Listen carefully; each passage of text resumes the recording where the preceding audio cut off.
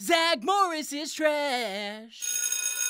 Screech says he has his eyes on a young lady. Zack laughs out loud. Screech makes a move, but when her menacing boyfriend arrives, he hides. Zack wants Screech to tell him all about that humiliating thing he just saw happen, then slams a door in his face. Belding has great news. Madonna's the new school nurse? Spoken like a virgin. Bayside is hosting the California Cadet Corps. Lieutenant Adams says it requires discipline and hard work. Zack says hard pass. Belding wants to know who's in, and Slater says sign me up. Zack needlessly announces he's out, then laughs at his own dumb ass for the second time in two minutes. Belding is done with Zack's assholery and says he's earned 30 Saturdays of detention. Zack whines like a child about his long overdue punishment. Belding says he'll let Zack off the hook to stop the whining if he joins the Corps. But because they need a full class, Zack has to recruit peers. Zack's delighted to dupe Rubes into joining the army to avoid the consequences of his behavior. Zack tells two nerds the army serves cake at every meal. Then Zack tells the guy who's been threatening his friend. If you join the Corps, you can beat up anybody you want, not get in trouble. Then provokes Jessie by saying women don't belong in the army. Then reminds Kelly that her family has seven kids and is poor, and an army scholarship could be her one chance at college. Then exploits Lisa's sexual attraction to the lieutenant. But he needs one more sucker.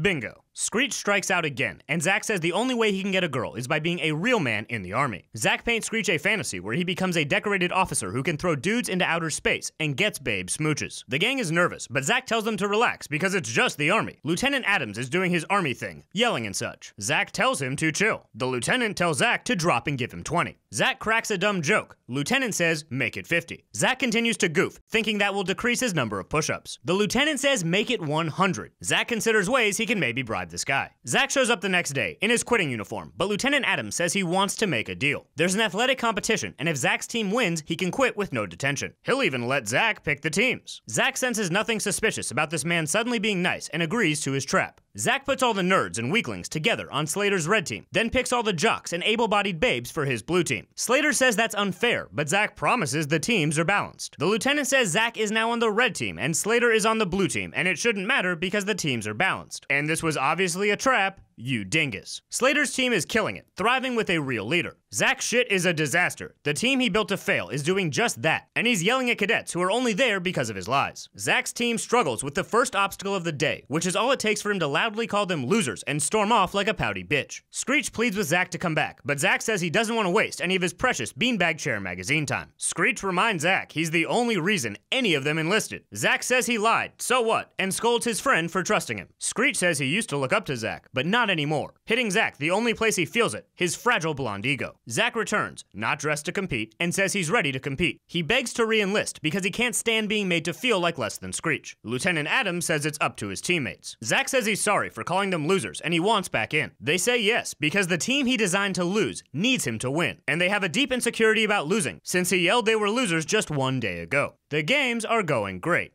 Who cares? Zack's only win is during American Gladiator combat when he distracts his opponent to sucker punch him. It's all tied up. Each team has to pick one member to run the final obstacle course. But instead of taking that responsibility to make up for the many events he skipped, Zack puts the burden on Screech's shoulders. And Screech wins and gets the girl, no thanks to Zack. Lieutenant Adams says he guesses this is goodbye. Zack says it isn't because he's not a quitter. Except he certainly is because we never see Zack in Cadet Corps ever again. And who knows what happened to Lieutenant Adams? He probably fucking killed himself. Let's review. Zack Morris disrespected a soldier visiting his school, and instead of accepting his punishment, took a deal where he had to convince students to join the army, which he only accomplished through lies and manipulation, and quit after day one when he had to do push-ups for his insubordination. Then was given a second chance that he used to cheat his way onto a winning team. And when the team he built to lose started losing, abandoned everyone, then only returned to repair his damaged ego, and only won a single event because of a sucker punch. And when the pressure was on to win it all, he stepped away like a coward and didn't learn anything from any of it because he quit one last time right after saying he's not a quitter.